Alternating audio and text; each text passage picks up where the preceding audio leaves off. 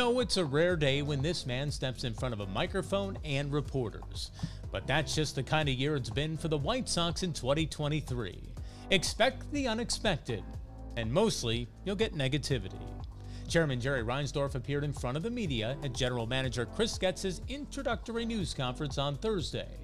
It comes during arguably one of the worst seasons in White Sox history.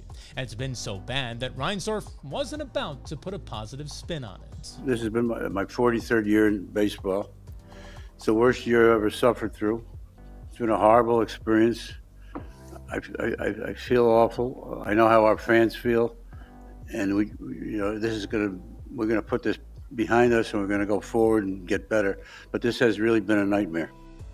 Indeed, it has. Now, much of the blame has fallen at Reinsdorf's feet for the moves he's made or not made since the White Sox 2005 World Series championship. The team is far from that this year as they enter the weekend as the fourth worst club in all of Major League Baseball under first year manager Pedro Grifol. That led to Reinsdorf's firing of Kenny Williams and Rick Hahn, with fans hoping for new perspective from a front office leader. But once again, he stayed internal, hiring Getz, who's been with the franchise the last seven years, running minor league operations. And he said that Grifol is most likely to stay for the 2024 season.